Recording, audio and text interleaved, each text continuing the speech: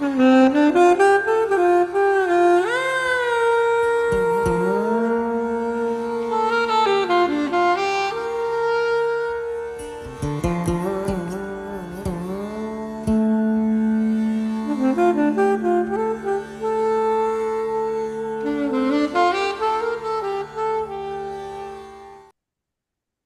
Okay, welcome to the sixth episode of the Collaboration Podcast. My name is Jonathan Kay, and I'm here with my co host, Marco Masi.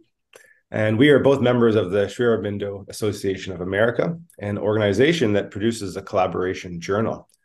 Uh, collaboration, now in its 49th year of publication, is a journal dedicated to the evolutionary vision of Sri Aurobindo and the Mother. Collaboration examines the theory and practice of integral yoga the place of humankind in the universe, and themes such as consciousness, emergence, and transformation. Articles, essays, poetry, and images explore the human impulse towards perfection and speculate on future possibilities as we move forward in a rapidly changing world. And we have a wonderful guest with us, and we're going to be discussing two uh, two articles in the more recent collaboration journals. And I'll turn it over to Marco to introduce our guest. Yeah, our guest today is Bahman Shirazi. He received his PhD in East West Psychology from the California Institute of Integral Studies, CIIS. He was in an adjunct faculty and also worked in various administrative positions at CIIS for 25 years, including several years as director of graduate studies and as CIIS archivist and historian.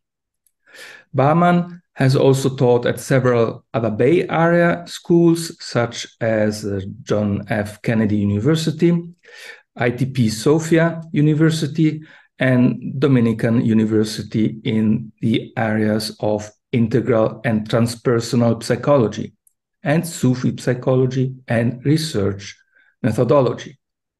He has published a number of books, uh, chapter no, of book chapters and articles on various topics in integral psychology, and has served as guest editor for Revision and Integral Review journals. He is currently an editor for Collaboration Journal. Yeah, Bahman, welcome on board on our podcast. Well, thank you. Thank you so much. It's great to be with both of your good friends. And yeah. I look forward to, to talking with you. Yeah, yeah. Well, uh, one of the first question that has become almost a ritual in our podcasts before we go into your articles and other things. Uh, the first question is more about you and specifically how did you come to Sri Aurobindo, the mother, integral yoga from the very first beginning? Was this first through CIIS or first you met them elsewhere? Yes, it was. It was through CIIS. Mm-hmm. Uh, yeah, I actually went to CIIS uh, in 1983 or so, and uh, about 40 years now. So at that time, I actually went to study Buddhism. I had found that there's a good Buddhist teacher there, and I was very much interested in Buddhism. And prior to that, my background was in more traditional research oriented psychology and educational psychology and so on at my master's level. And then I was really looking for something very different and um, interested in psychology and spirituality. So things led me to CIIS, and I saw a picture of Sri Aurobindo and also a picture of Dr. Chaudhuri that was posted in the library and at the entrance at the institute. So that was my first uh, darshan, if you will, or connection although it took me a few years to really begin to understand Sri or integral yoga, and, and the mother came a little bit later. Uh, but uh, as I said, my first few years was very involved in Buddhism and And then I started to read about Sri and I used to hear a lot about it. Being at CIIS, you always hear, you know, various things from people, but I wasn't really seriously into it. But uh, by the late 80s, when I was trying to finish my dissertation, something very important happened to me, and that was that uh, I knew uh, Bina Chaudhuri, the co-founder of the institute and, and wife of Haridas Chaudhuri. I knew her very closely because I worked for her.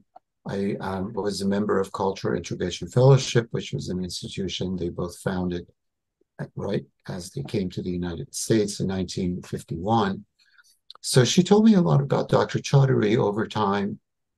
And when I worked with her closely, uh, which was um, I she gave me something to do with the collection of books that Dr. Chaudhuri had to put it together, do some library work on it. So I came across many books that uh, they had, and and she would give me occasionally articles by Dr. Chaudhuri and so on. One article that was very um, uh, clearly important to me was one on integral psychology that never really got published uh, because Dr. Chaudhuri had passed away before that uh, article was the manuscript was you know ready to be published. So that was unfortunate. He died in 1975. But I picked this up, and uh, although I had a whole other dissertation project and had to do with Buddhism, uh, all of a sudden I had this um, feeling. I had a call uh, to change my direction. And I studied integral psychology right off the bat at that point. And so that was really the turning point when I began to read more about uh, and the mother. But first through Dr. Chaudhuri, um, that was, you know, because he did a lot of introductory work to integral yoga, which was very helpful. So, and then uh, I wrote my dissertation on self in integral psychology. And I realized at the time that integral psychology was a topic that was sort of lost over time. Nobody was really dealing with it. But right around the late 90s, there were, there were a few people, Matthijs Cornelissen in Pondicherry, um, Don Salmon, a few other people who had started a conversation. And I happened to be presenting, I presented at the 1998 AUM conference, the All uh, USA Integral Yoga Conference. That's still going on. Of course, SAA produces that. And um, when I presented my dissertation there, as sort of a summary of it, there were a few people that really got interested in me, and I guess the word got around. And next year, I got an invitation to go to Pondicherry, right around 2000. And uh, Matthijs Cornelissen had really taken interest in integral psychology and they wanted to do more conferences in it. So that was the beginning of this whole work for me and the connection with the community there in Pondicherry and more and more so in the US. And we had a few more conferences over the years, which uh, we did in India or in the US. Uh, so that was how I got started. But your very, very initial interest before getting into integral yoga was about psychology in general or psychology connected with Buddhism, you said, or where was your mind floating yeah. around? Both. I came from a general psychology background. General psychology. Uh, and, uh, but I was alienated about the depth of it and, and the future work that I might be doing in that. Although it wasn't too bad, it was educational psychology. I learned a bit about um, uh, you know practical things about education and psychology, but I was really yearning for a, uh, a psychology that uh, involved itself in spirituality of the East, you know, especially because by that time I had gotten introduced to Buddhism and was really interested in that. I won't go into the details of that, but I went into psychology of Buddhism with my teacher at CIIS. She was a a, a, Burmese Buddhist teacher from a Theravada tradition, which was deeply involved in practice. And she built a monastery in, in the US, and I got involved in helping out there, and I was a resident there for a few years and so on. So I was quite involved in that.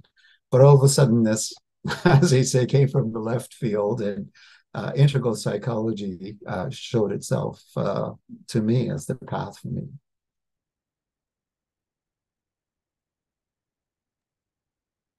Bahman, I'd love to now jump into a couple of the articles that we're going to discuss that you publish in our in the journal. Um, and let's start with the American Soul: Essential Qualities and Future Possibilities, which is number uh, forty-seven three.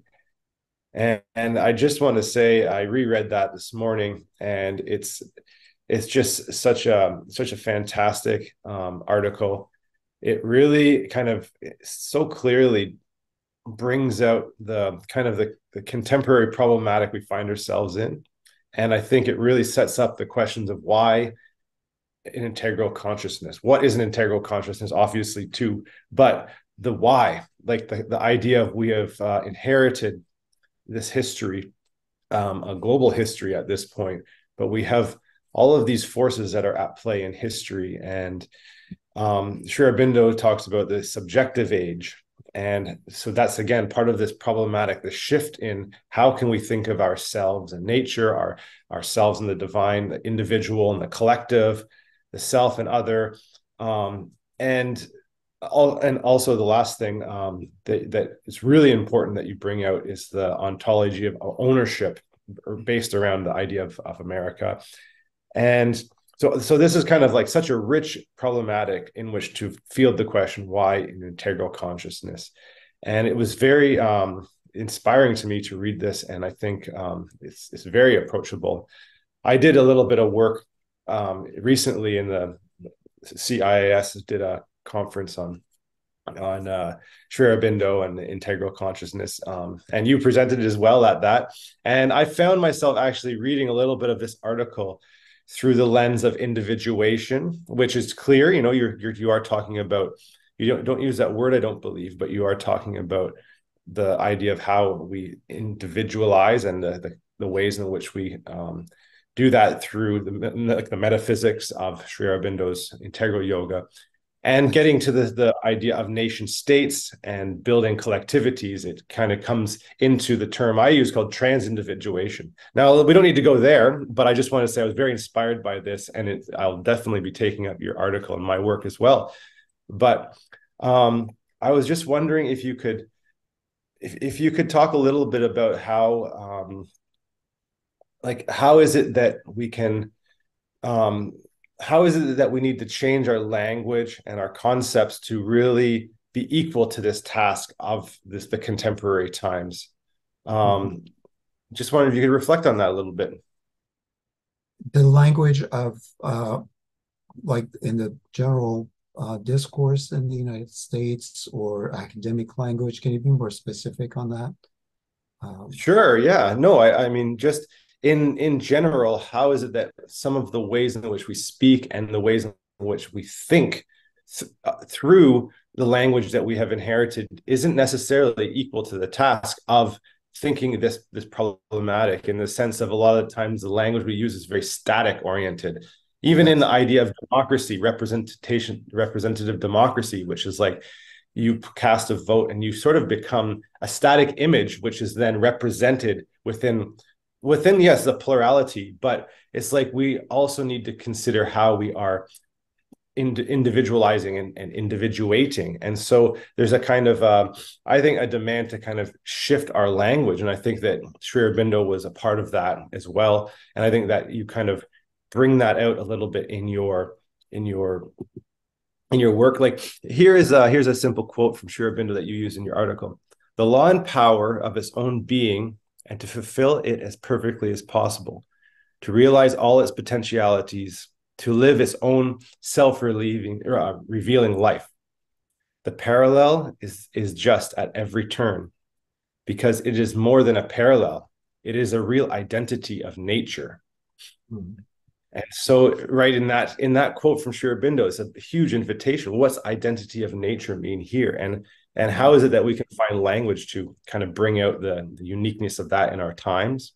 Mm-hmm. that's sort of where i was coming from. Yeah um, yeah this is a very rich and multidimensional question even though your focus is on language. But um, um, I think maybe I should say something first about uh, how that article came about because it wasn't something that I was thinking about actively and and or I was taking notes on. And um, hoping to write about. You know, so that's kind of interesting in that sense. Um, what happened was, as you know, I'm on the editorial uh, board and an editing member of of collaboration, and we had this issue, and we went through all the articles that we got, and we just felt that, or at least the discussion was that we don't really have a lead article that can introduce this whole topic of soul of nations and then the American soul. What would that apply for the United States? Who are we? You know, and um, uh, what is the implication of Sri Aurobindo's idea of soul of nations? Um, how do we understand it and how do we apply it? So some kind of a general introduction to that. And I and I said, well, maybe I can do that as if you know I had to do it, so I'll do it. You know, in, in that sense. And then I sat down and I realized, well, there's so many things going on, you know, that I have thought about and I hadn't written about, but that really is involved in, in this whole thing. And um, now to answer in part your question, one of the things that I always keep in mind when I read Sri Aurobindo's work is his teachings about the three modes of being or consciousness, or sometimes called the poises of Brahman, you know, the individual, the universal, and the transcendent, right? These are not just another set of teachings among almost a thousand other things that he talks about. I think these are so important, they're so central that you could use them as a hermeneutic lens in terms of anything you read from Sri Aurobindo. You will see that his whole um, integral framework is really about these three different dimensions, you know, the individual, the collective, and then something beyond both that transcends it, but at the same time includes it and holds it. Um, so as far as the idea of individuality goes, uh, I think that's where we really have in mind the idea of the psychic being, psychic development, the idea of development of swadharma, which is some kind of authentic path of unfoldment of your destiny according to a higher principle and that means getting in touch with your swabhava, which means your um, essential nature, you know. So this self nature or essential nature is something that I think we all have in us, and we need to be in touch with that, as opposed to some kind of identity that is created uh, due to psychological and sociological and other forces, cultural forces that shape our personality. So the bottom line is that the ego formation that we come into after a few years into our development as a human being sort of keeps covering up this deeper identity that we call the psychic being or psychic personality. So to get in touch with that is, is very important. Now, where does language come in about this particular thing that I just said? Well, to me, language actually is a hindrance at this stage because language is associated with the cognitive development, even though one end of it has to do with meaning, and meaning is processed at a deeper level. Uh, I believe personally that the meaning is uh, the consciousness behind the meaning is deeply seated in the soul. We know everything we need to know potentially at that level, but we need to also, as a child, make associations in our cognitive development, in our brain development, uh, learn the language that we were born into, learn the culture that we're born into. And all of these things shape us. And as a symbolic system, language, even though it can uh, help us with many things, especially with uh, uh, abstraction. You know, we can uh, conceptualize things, and even though it's removed from immediate experience, it can help us transfer knowledge from one situation to another that we couldn't otherwise necessarily do. So that's not something that animals do, for example, as far as I can tell. uh, not having that cognitive or cerebral capability to to do abstraction.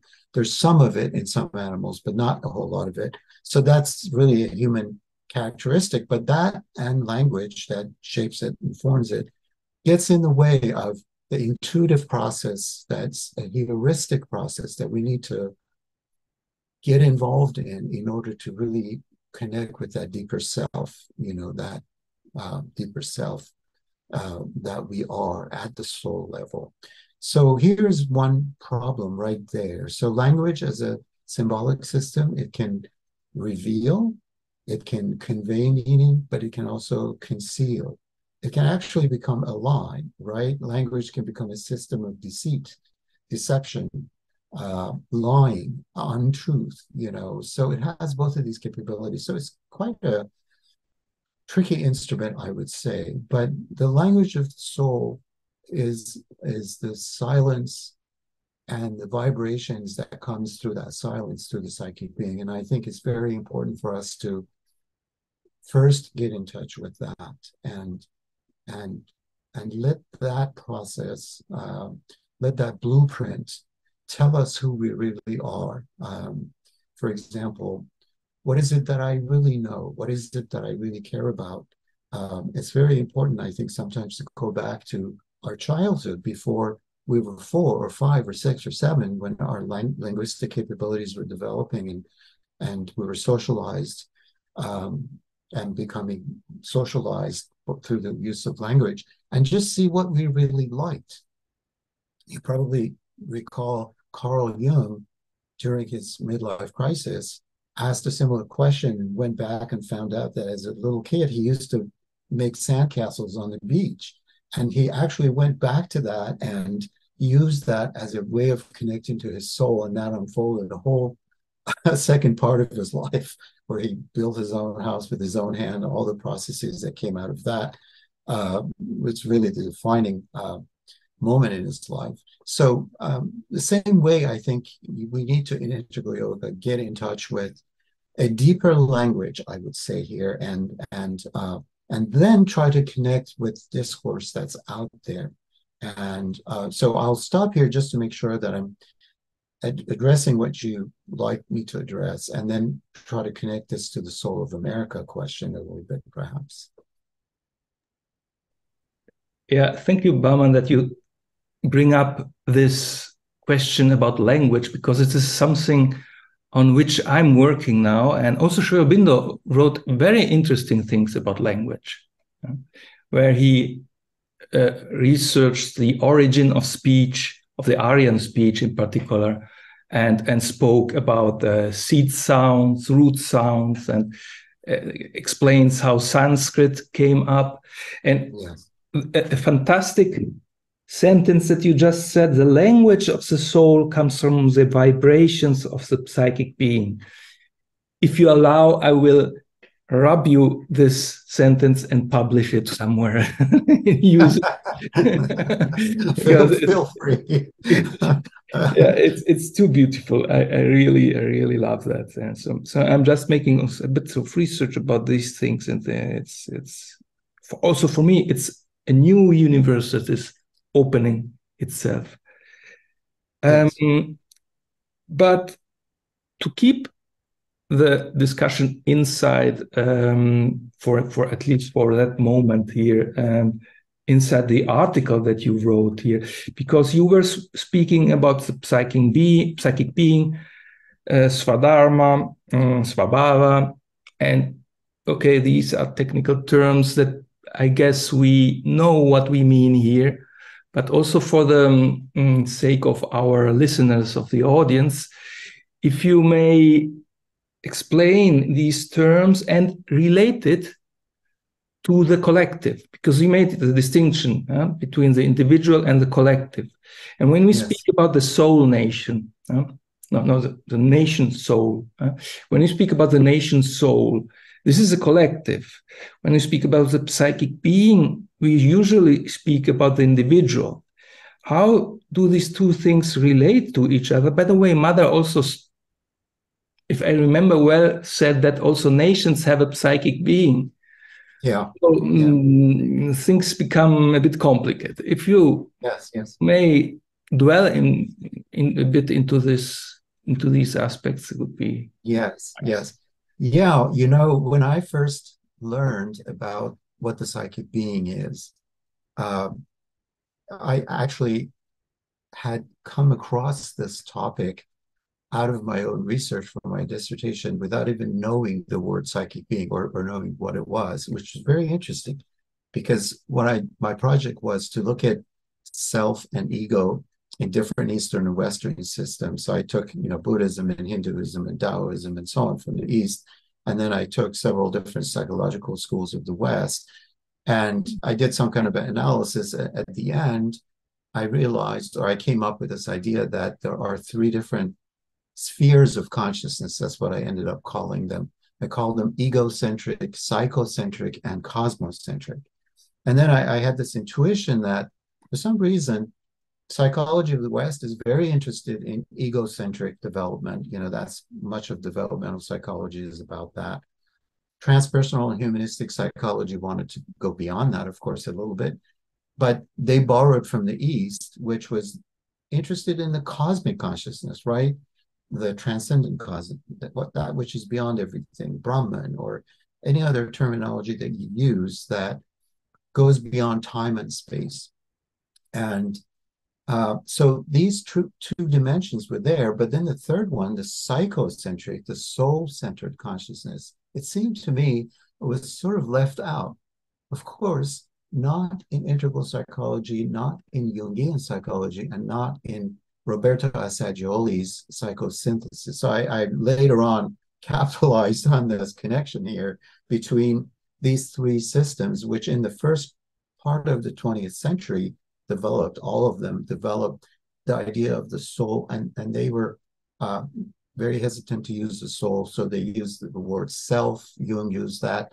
Uh, uh, Assagioli used the higher self because the context in which they were working in the early part of the in the 1920s, 30s, 40s, and so on. You know, this was the posit- positivist atmosphere. You know that you know had nothing to do with the soul or anything. So they had to con- con- convey their teachings in in somewhat of a, secret way, but. Uh, these three systems all really look at the soul as a central point and, and integral psychology, to me, of course, uh, does the best job of that in a very comprehensive way. Now, Swadharma and Swabhava, I want to talk about that because you asked me that, but I wanted to say one more thing. The soul, when I learned about it, it was really helpful to me in Sri Aurobindo's system to really distinguish it from many other usages of the term because you know the soul and Sri says that too you know in in the work called the psychic being which is a collection of his teachings and the mothers um, you know there is some place where he says the, the the word soul has been used in so many ways in art poetry just casually and heart and soul and in so many ways that he he avoided that and used psyche or psychic you know so to be specific but it was the seat of the deep innermost individual consciousness, you know, the innermost individuality. That's what I really loved because that really opened something, a new door to me. And um, um, this deeper individuality is something that is covered up by the ego consciousness, by the outer personality. So I was a little bit uncomfortable in the early um, period where I learned about the soul of nations because I wanted the soul to have something to do with the individual, you know. And I, I was a little skeptical actually, even though it was sure I've I was saying, why is he using the soul to refer to a collective process, you know? But of course, you know, the soul in Sri Aurobindo's integral yoga is a very intricate, you know, multifaceted system. You know, you have the Jivatman, you have the Chaitya Purusha, you know, the transcendent aspect, the embodied aspect, and then you have the soul personality, which is the psychic being, which is uh, a process. You know, it's it's the process of impressions and learnings and meaningful development that one goes through. Now, this process is ongoing, and at every turn in a being's life, animal, human, etc., you are at a particular stage of development with the with this process of uh, consciousness evolution, and at any point, your state of being is called swabhava. Now, swa means self in Sanskrit, and bhava is means to be. So swabhava simply means the state of being, but probably adding this one thing, the unique state of being is really helpful here because each of us, each soul is on a mission to evolve and this trajectory is very unique. And it's so important for us to find that uniqueness you know. Um, we're all part of a race or a culture. We all have maybe blue eyes or brown eyes or you know. So on the outer level even though we're unique you know each person is absolutely unique you know. Every genetic characteristic that you can put together every person is extremely unique. Even twins are unique but there's something behind that that is absolutely even more unique. And that's the state of the being that the person is at.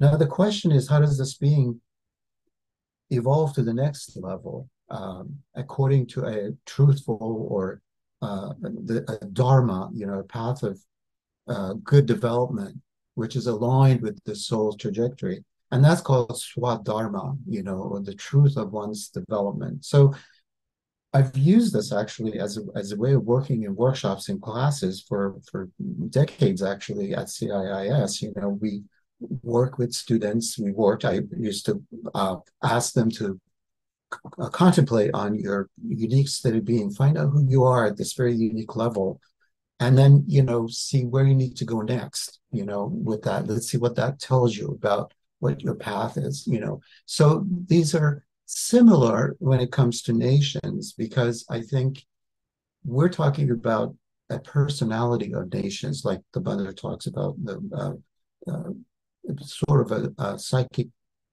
entity or something that's collectively formed. Now, these collective developments have their own patterns and processes, but for the most part, um, they're dominated by unconscious processes.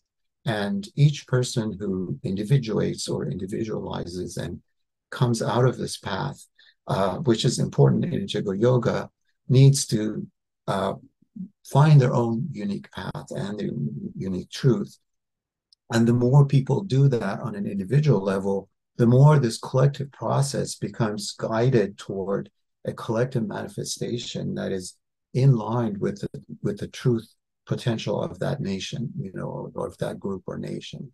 So I'm comfortable with that now. And so when we think about the United States or any other country, I think Sri Aurobindo poses this question what is this country about? What, you know, these unique people that have been part of it, um, where is it going? And I think I try to apply this in my article to to the United States. And uh, if I may say just then, what I started to look at is um, um, there are some other works that are looking at the United States and the problems that we have in this country.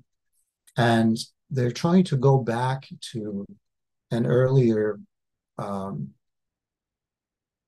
you know, indigenous or Native American culture as being a more true or authentic American soul formation that got corrupted as Westerners came in and and now the field is really crowded and, and there's so much so many problems have have developed.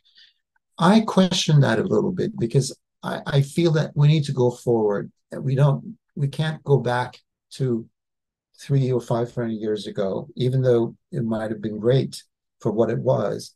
But we need to go toward the future. And what tells me where the future lies is the cultural makeup of the United States, which is probably, even though in the old uh, world, there were centers of civilization from time to time where a lot of people migrated to, especially centers of science and um, you know philosophy, or you know from time to time these centers would shift around the world from Alexandria to Athens to another place to Baghdad or so on. But these places were very multicultural, even even back in those days. But the United States was probably the first country where all the different nations of the world came together. So that gives me my first clue about um, where the soul of this nation should be headed. You know, it should be very inclusive of all, uh, all of North America in, in a sense. It should be really inclusive of all the contributions of all these different cultures that, that have come into it. But I try to look at this in a broad way because you can write books and books and books, and it's not even my field of cultural psychology of the various groups in America. And there's so much written on that already. But I looked at the the basic combination of uh, the indigenous people, the African Americans, uh, the the white people, the basic groups that we usually talk about in the United States, and then something uh, just came to me, which uh, was very striking, and that was Huston Smith had done some work. I took a workshop with him back in the 80s. I remember he was uh, he wrote about this later, but he was introducing this idea in his workshops way back then. He basically said, you know, each culture out of the West, India and China, and he grew up in China actually himself, but you know, he said these three different cultures have mastered, you know, the West has mastered the physical consciousness, the material world, you know, science and technology at the expense of, you know, spiritual development. The, the spiritual dimension has been underdeveloped. India has uh, has long developed a deep connection to states of consciousness, and uh, but on the surface, at least up until the 20th century, there was a sort of neglect of the material world, which Aurobindo also calls upon, and, and he wants he wanted Indians to become more active and, and more embracing of, of the material aspect of our being. And he also said that China has uh, mastered uh, laws of propriety, social relationships, but is lacking in, in other dimensions. So it just dawned on me that these three dimensions are very parallel to the three dimensions that uh, Sri talks about individual, collective, and transcendent. You know, the West has focused on individual and material consciousness. Uh, China has looked at collective social development at the expense of depth development, and India has looked at transcendent you know teachings. All of indian metaphysics is starts with the most transcendent you can imagine. So all these three aspects to me make if they come together in a in a nation in any nation but especially especially now in the united states if they come together they can comprise an integral developmental framework for that nation. And that could be very informative for the soul development for the soul of nation. And I see that the Western contribution, the European cultural input, the Far Eastern input, the Asian, as typically are called, and the Southern Asian and the Southern Hemispheric, plus indigenous groups from all the South and other indigenous nations of the world, which all nations were indigenous at one point, right? But you know, all of indigenous uh, input. If they come together, I think this to me is the blueprint for the healthy soul development in the United States. And of course, there are impediment to that. There's the big shadow about it, and so that's a whole other. Um, you know, I'll, I'll see if we can connect this back to Jonathan's question of language in the beginning. But at least, uh, you know, I wanted to say this. This is what I'm really trying to say in the article that you know the U.S. has this potential to really become the first nation or lead the process of of really um, fulfilling a kind of a, um, a soul that is fully integrated and then open the way to this other global level of consciousness and integration that Sri Aurobindo dreamed about. So I could see that potential, but it can go either way. So yes, absolutely. I mean, it seems like our time's um, crisis is is um, descending into many realms, um, and the coexistence of so many different kinds of crisis are leading to a certain fragmentation and polarization for sure. And so, yeah, bringing up the idea of of the the kind of the productive or the the the powers of these different realms and like you've associated them with different um, types of um, developments in different areas in the world. But also the the shadow of those would be part of the, the kind of critically looking at how is it that we we want to be? The question of what is a we?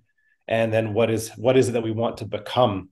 Um and you know like as i was reading that this, this, a couple of the shadow aspects came up to me like the idea of the transcendent being a place of escape. You can escape the we by escaping into the I or Absolutely. we look at the universal from china and the, the, the aspects of relationality it's um, also gone very deeply into dictatorship and and yes. and and then also then the coming to the west which is where in my work on kind of cultural psychology and, and spirituality but i feel that part of my work part of my yoga is to address my own makeup my own my inheritance from from history the containing myth that kind of um that in which i've accepted certain certain assumptions about human nature about the the psyche about consciousness about um materiality. But it seems to me like it's it it really is a question in the West here um, at this point, especially is is that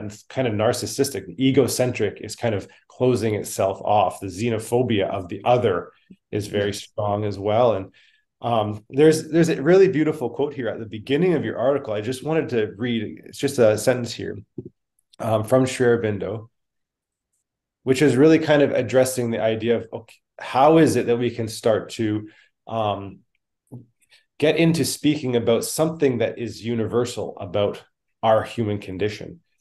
And obviously, that went very wrong in the Enlightenment times in Europe, which led to the drive to knowledge and power, to an ego center or to a rational logocentrism, to a logic of colonialization. But here's Aurobindo on he's saying, East and West have the same human nature, common human destiny, the same aspiration after a great perfection, the same seeking after something higher than itself, something towards in uh, which inwardly and even outwardly we move.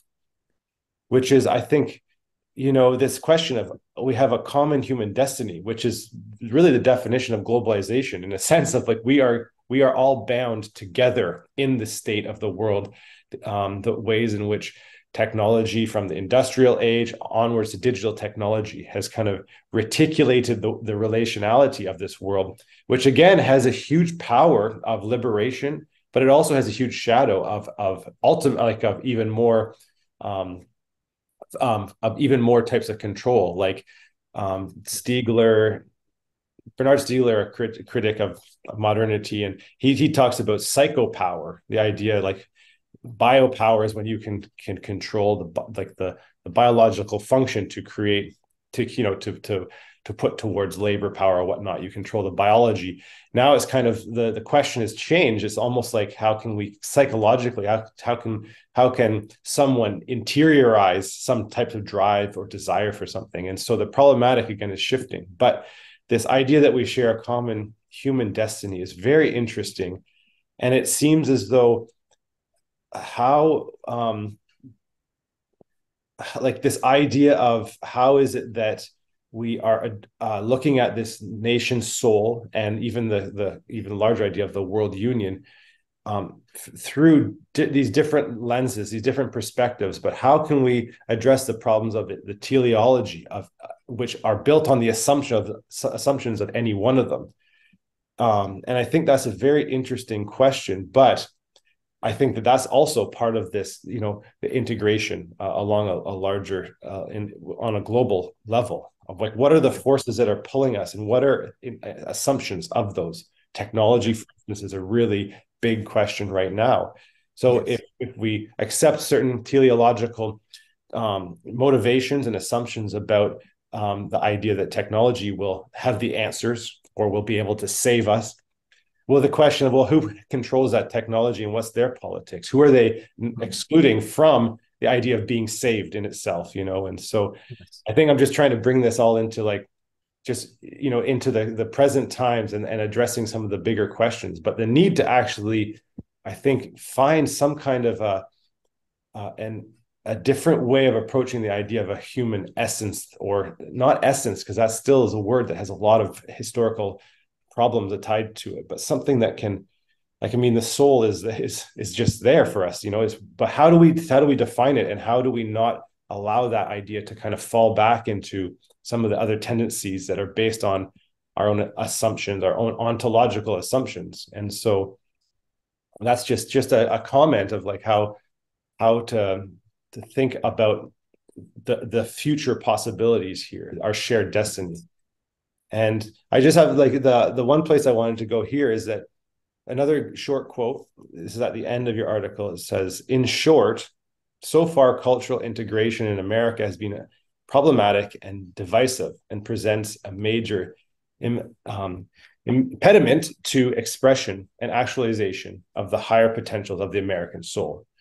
and so this is kind of getting getting to the idea of you know population integration the idea of like how is it that we can build a nation soul without these different types of kind of ethnocentric or technocratic teleologies and you bring up the idea of the multicultural and and the melting pot and as a canadian i just wanted to share when i was reading that you're being marked by a two o'clock and the, the good old. You can hear the bell. I'm assuming.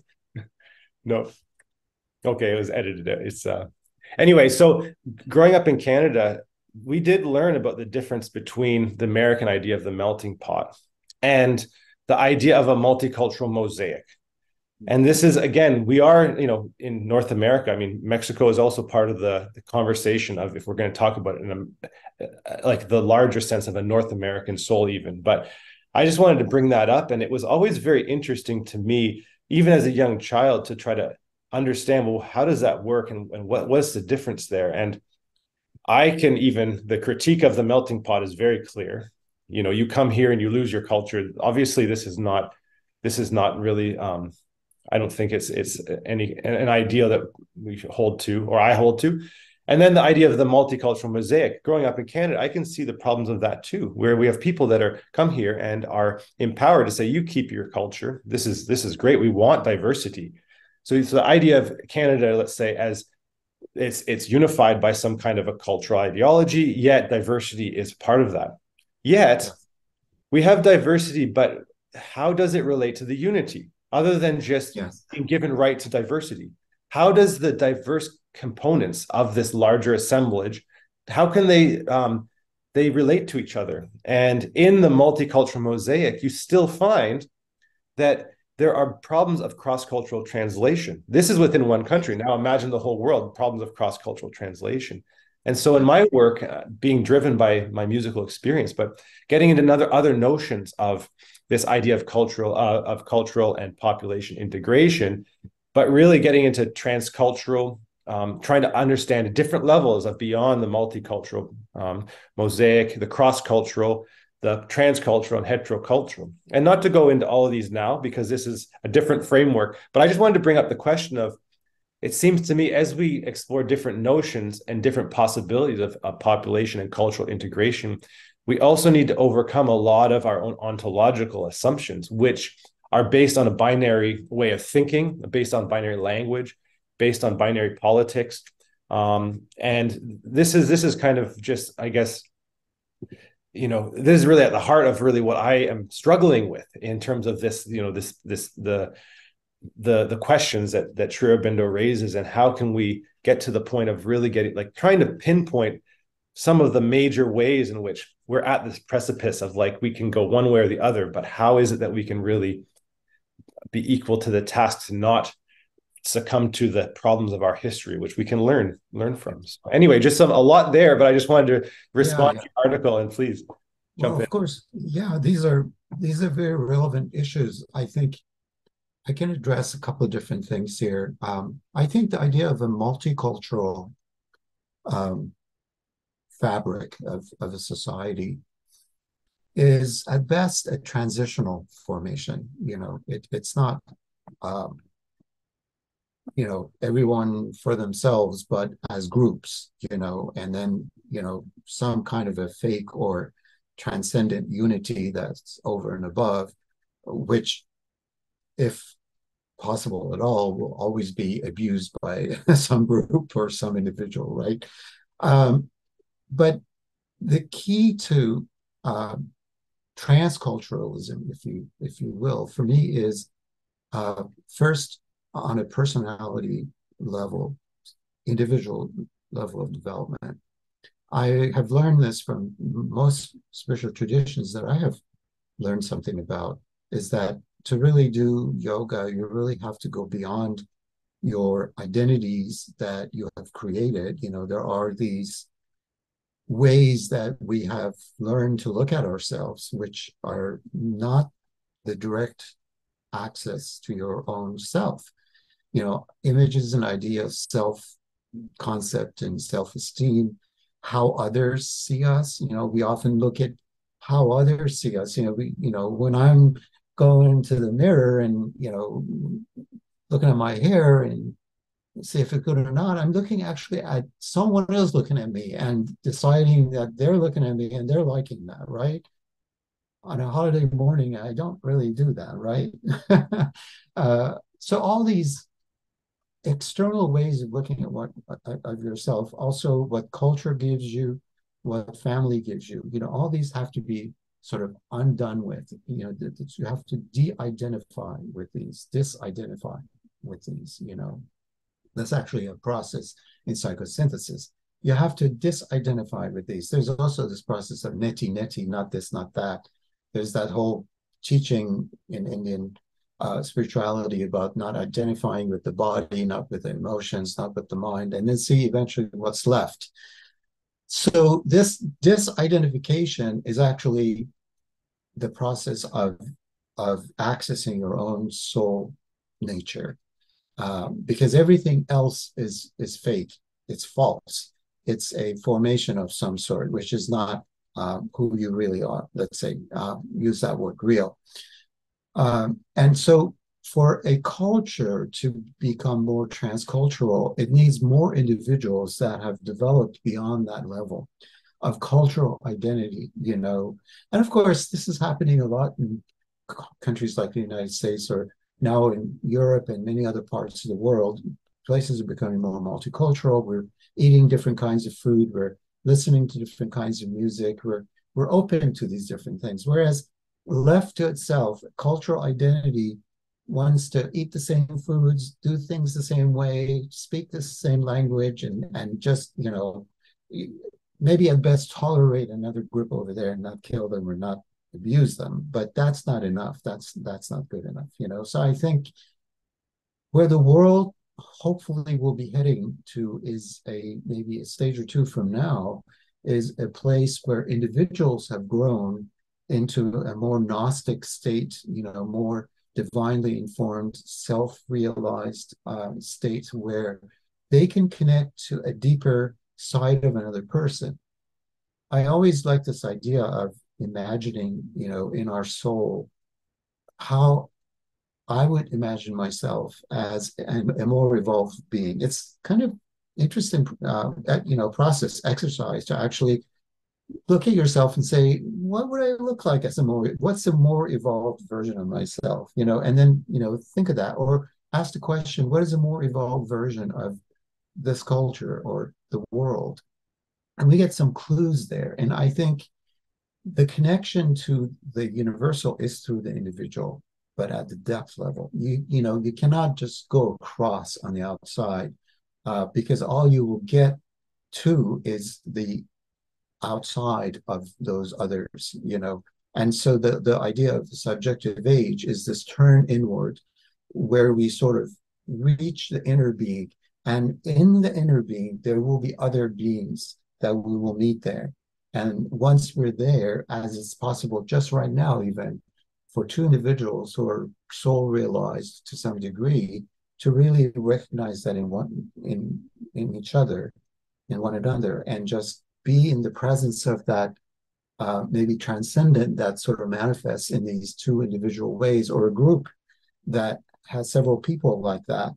And so the transcendent manifests in terms of these connections that are deep and uh, fully acknowledging the fullness of other beings. You know, I think that's the key, Jonathan, uh, to fully acknowledge the, the wholeness of another being is the most difficult task. I, I, some of my best experiences in my growth and development have been very rare, but occasions where I felt that I am seen in terms of more of who I am, maybe not my whole self, but I don't even know that.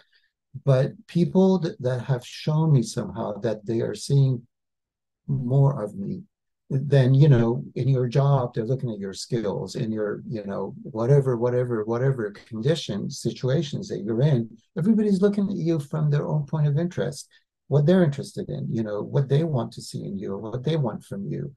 But if they can see you for who you are if we are seen for who we really are as young children there wouldn't be any of these uh, weird developmental processes that get us to these hard and difficult places in our ego ego formation you know? So i think the work is really individual. And those three dimensions you know have their shadows like you mentioned you know? The shadow of individuality is narcissism.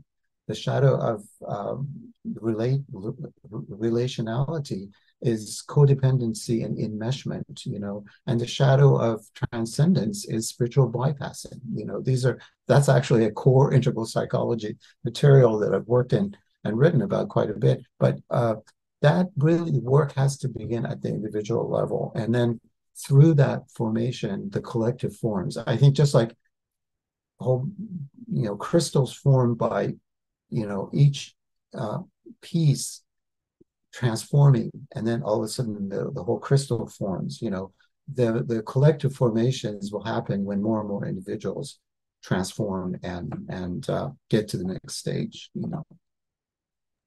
But I think all of those things that you say are very relevant. Um, the only thing I would say is that they belong to a more public discourse, maybe a more academic discourse, uh, where we uh, use our intellect to understand the complexities. But I think we also need a, a simpler language, intuitive language that just you know goes to the core of who we are and get in touch with with ourselves. And the creative and intuitive is is the secret to that. I think you know.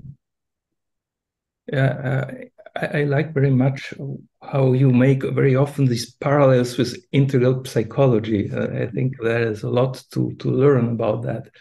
Uh, another aspect that frequently I see it's the the transformation that I feel we need now is psychic but also spiritual because in, in, in Sri there is this distinction between psychic and spiritual. No?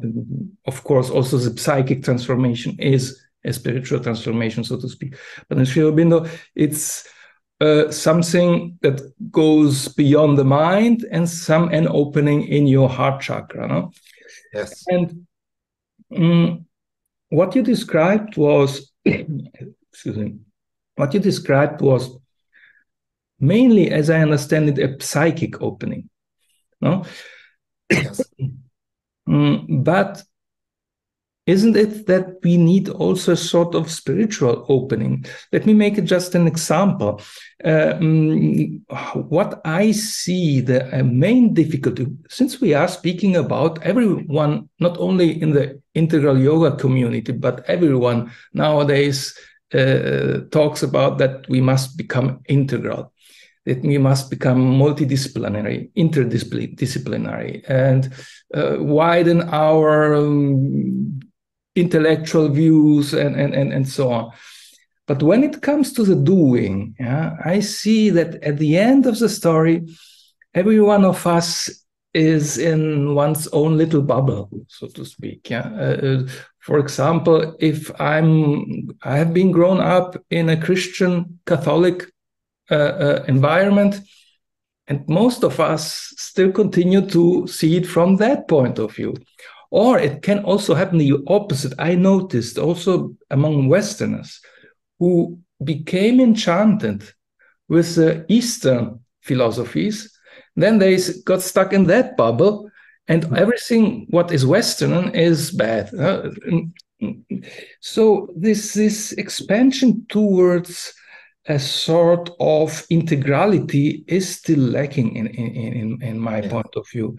Yeah, you have yes. also this this this perception, and um, because it's not just about accepting the others, as you said, it it, it is also about uh, um, to acknowledge what did you say there to acknowledge the something the wholeness of mm-hmm. our essence no yes and that's in words it seems to be the same thing eh, but in reality it's something very different and when yes. for example you spoke about the indigenous peoples um, yes i completely agree with you but it's not about going back to the past but we can we can perhaps enter in the spirit of the indigenous people how they had this relation with nature where yes. there, there is not this uh, uh, separation between us and nature where the land has a sacrality where they have also some how can we put it animist view of nature that we must not embrace totally necessarily but we can learn something about it but to do that, we must really think integrally. And it is not sufficient to just yeah. take a book. Ah, yeah, interesting. But okay, but I'm Christian, so I like to see it from my point. and at the end, I see that we fall back in these bubbles.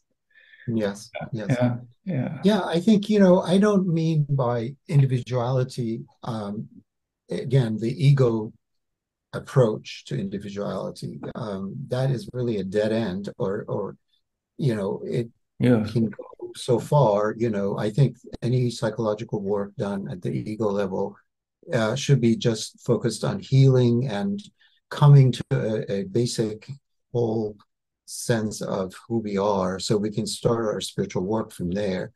Um, regarding the spiritual transformation and psychic transformation, I think, uh, yeah, you know, Sri Aurobindo I think, has said that most people's path is a psychic transformation path. That means getting in touch with the psychic being.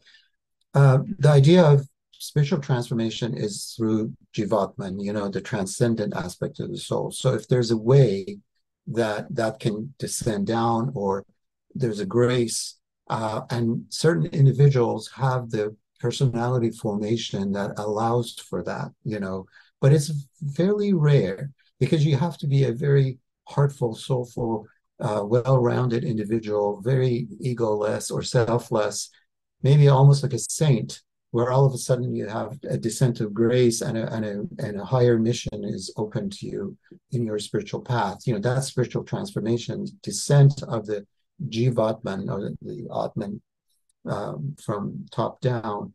Um, this side, you know, but remember that Jiva Atman and, and psychic being, or the core of the psychic being, Jiva and Jiva Atman, are really the same thing. They're really two poles of the same thing. So you can enter one way or the other, you know, and then they can both take you to the third level, which is supramental transformation. But those are way beyond most of us. But I think the idea of um, going inside and connecting with your soul opens something up that is very, very rare. Let me just uh, put it this way. Um, when our personality becomes better integrated and uh, less and less unconscious, we are naturally and, and ordinarily able to see more of the wholeness of other people. That's just a, a part of the process. You know, when we are bipolarized and uh, have inner dynamics that are better explained with like Western psychology. Uh, we basically project, and we're not able to see others for who they are. I mean, not only we don't see ourselves for who we are, we don't see others. There's a dynamic going on. There's always this projection. There's always these defense mechanisms. We only see what we want to see in others, and that's really what's happening a lot nowadays. You know, because the shadow is coming out, and that's part of the transformation process but but part of it is also very dark and and and very uh, bitter and we can see that in american politics for example right now you know but um, this this self that I'm talking about is in a way both in and out. It's it's a it's a paradoxical thing. The more you go in, the more of the wholeness you see, and the more of the wholeness you see in others, and the more of the oneness you see in you with others. I think it's just natural unfoldment of the yogic process, you know. And the psychological work that goes into that up to a certain point may be helpful uh, to prepare you for that. But at some point, you have to have some input from the psychic. You have to have opening of the psychic, or you have the, the spiritual, you know. But spiritual transformation is not collective transformation. You know, it's still a individual process, but it's done through the top part of of of the consciousness. But I think the collective part happens in collective dynamics as different individuals grow and evolve. You know, this is already happening, you know, more um, you know, in, in, in societies or groups or individuals, institutions where, um, you know, like even a place like CIIS, where I spend a lot of my time, there are a lot of interesting people. Nobody's perfect. Everybody's growing. Everybody's in aspiration stage and working on themselves. But still, you feel a, a, a very interesting sense of community because people are just trying to do better you know they're, they're, trying to go towards something better and higher. So i think you know these dynamics manifold naturally uh, manifest naturally and uh, and then you know there will come a time that it will accelerate because at some point the critical mass will be reached. I think and i hope that that's that's the case but uh, you know right now we're at a very critical junction i think in the soul of our nation. I mean, it's so obvious that even I remember Joe Biden a couple different times as part of his campaign was saying American soul is at stake here. Soul of America is at stake here. You know, it's like I'm going to save it. I mean, you know, this is a cry from from the soul of the nation. You know, even though it's a politician that's saying that and may not be deep, but I take it to have some depth. You know, there, it means something that it's being set in in, in the public.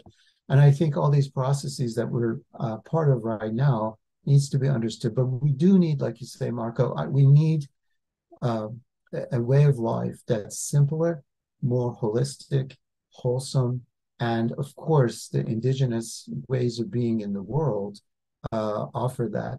But I might say maybe one thing here that might be controversial for some, but I would say the indigenous ways are more embodied and less cerebral. So the complexities that often arise is in the cerebral discourse, which is out there, which is part of the language that Jonathan started out with, you know. But I, I would be very careful about over participation in that because it's abstract and it's conceptual. Um, and you know we have to look for ways that it's actually manifesting in the individual you know.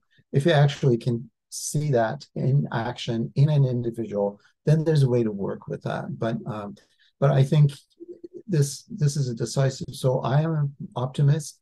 I know that sooner or later uh, we will get there you know to a place of better than what we have right now and for the world as well.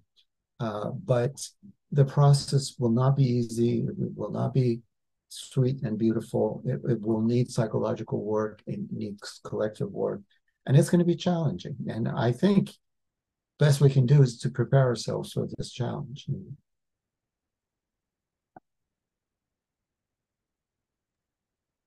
Yeah, so beautifully said, Bahman. Really getting to the core of so many things that are are really um really important to to this community. And um, and we're so happy to have had you with us to talk and to bring out um, like how um, how the you know that your article in collaboration is is really a seed. And everybody who gets together to discuss this article or discuss with us is it's kind of like it, it's it, the the it kind of opens to um, unique aspects of the seed idea these seed ideas. And and hopefully um, really facilitates you know deep questions um, and really helps these questions relate to this soul whether it's individual whether it's uh, uh, looking into more of the cultural and the collective um, or the transcendent levels um, but i think I think what we should do is we should have you back for another podcast to discuss your second article because we've really gone deep into this first one. And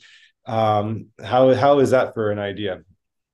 I'm open. I, would love to talk about these. These are this is what I live for. I guess uh, maybe you know uh, any other conversation that you're interested in, I'll be very happy to. It's it's so delightful. I really um, it's a rare opportunity for me because most of the people are not interested in these things and so those who do like to talk about these i'm more than open to it and i really appreciate this opportunity with both of you and i would eventually also like this uh, to deepen a bit the topic about integral psychology if if it even if it's a bit off topic from the articles of collaboration but it is still in the topic of integral yoga. And I would like to then to talk with you, to discuss with you at what point are we with integral psychology? Because, by the way, I, I, I, I read the dissertation thesis of um, Elizabeth Teklinski, uh, who yes. was one of your students. Yes. And there was also described many of the things that you already said and uh, and uh, it was a, a, matter of heart and soul or something like yes, that. Yes. Yeah, she she did a fantastic job because absolutely you know, studied developmental psychology, but realized that there's nothing at the higher end in yeah. in the systems and models that we have, and she brought the integral perspective into it, which is absolutely exactly. There, there is a sort of blind spot uh, that would be interesting to see how we can shed light on this blind spots. Yeah. Okay. Well, I'd love to do that. You know, we definitely will have some issue on on on integral psychology, but as a way of preparing for that issue, probably in about two years or a year and a half from now. But uh, you know, there's a, there are a lot of people that are interested in that, and quite a few experts that we know. So it will be a rich conversation, and yeah, I'm, I'll be open to it even before then. So yeah, it would be really interesting to deepen also this aspect, or perhaps in another podcast separately. I don't know, in another format, whatever. But yeah, sure. okay, we are waiting for you. I'm, I'm, I'm, pretty open. Yeah. Thank you so much. Okay, I think we. Well, until yeah. next time, we'll yeah. close here, and we'll we'll speak to you very soon again, Bahman. Thank you, Marco, for uh, for co-hosting with me, and uh, and.